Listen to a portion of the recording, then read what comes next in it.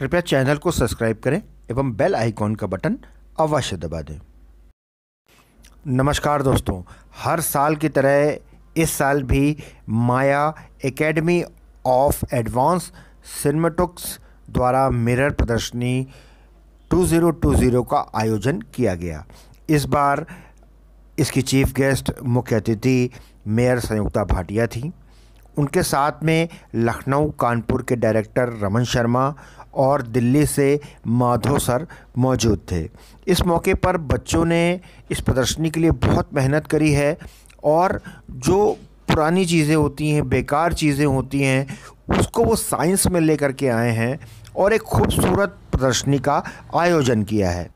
Mac यानी माया अकादमी हर साल इस तरीके का आयोजन करती है और यहाँ के पढ़े हुए बच्चे देश दुनिया में अपना नाम कमा रहे हैं।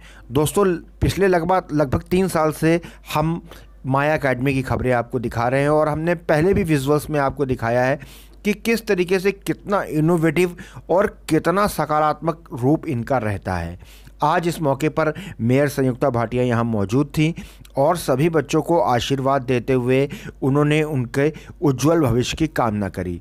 तो आइए सीधे चलते हैं मेयर संयुक्ता भाटिया के पास और जानते हैं कि माया अकाडमी को लेकर क्या कह रही हैं। कार्यक्रम के विषय में क्या कुछ कहना चाहेंगे? मैं के तरफ़ से ये कार्यक्रम यहाँ पर रखा गया है। बच्चों का बच्चों ने बहुत सुंदर आपने आपने भी देखा अभी, यहाँ पर बहुत सुंदर, एक कला का प्रदर्शन किया है उन्होंने।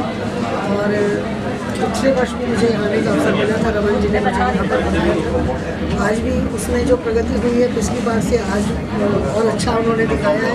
और प्रतिवर्ष मुझे लगता है कि बच्चे और ज़्यादा इसमें प्रतिभावान होंगे और बच्चों को एक आपने मंच दिया है अपनी दिखाने का।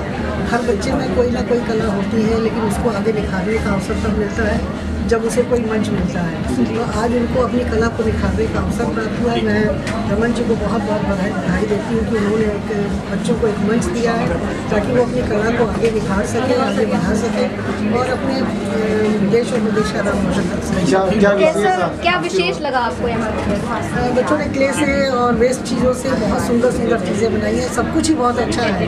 इसमें ये नहीं कहा जा सकता कि ये ज़्यादा अच्छा है। सभी ने अपनी अपनी प्रतिभा को निखारने का बच्चों के लिए आप क्या कहना चाहोगे? बच्चों को कहना चाहूँगी कि वो अपनी कला में आगे बढ़ते रहें और जिस जो उन्होंने अपना लक्ष्य निर्धारित कर रखा है उस लक्ष्य की प्राप्ति तक जब तक ना हो जाए तब तक वो उसके लिए प्रयत्न करते रहें। आगे बढ़ें और हमारे प्रदेश और देश का नाम